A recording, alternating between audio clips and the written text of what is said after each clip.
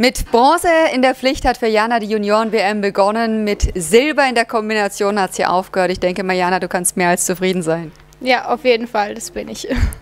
Wie war es denn heute da draußen? Ausverkauftes Haus hier in der Schauenberghalle. Was war das für ein Gefühl? Hat es Spaß gemacht zu laufen? Ja, es hat äh, schon sehr Spaß gemacht und es war auch ein bisschen ein anderes Gefühl wie sonst, weil doch in anderen Ländern Deutschland ein bisschen wenig beklatscht wird und so. Und jetzt so mit vollem Haus und so viel Trubel war schon ein bisschen ein anderes Gefühl als sonst. Du bist als Fünfte nach dem Kurzprogramm in die Kür gegangen, bist jetzt letztendlich Achte geworden. War das auch das, was du dir erhofft hast oder ist es letztendlich sogar mehr gewesen? Ähm, ja, also von vornherein ist es schon mehr, als ich äh, erwartet habe. Ähm, aber klar, jetzt nach dem fünften Platz in der Kurzkür habe ich es mir erhofft, nicht zu weit nach hinten zu fallen und es möglichst halten zu können. Was nimmst du mit? Woran musst du selbst noch arbeiten?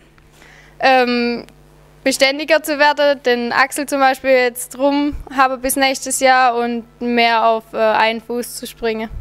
Dann viel Erfolg dabei. Dankeschön, Jana Kopp.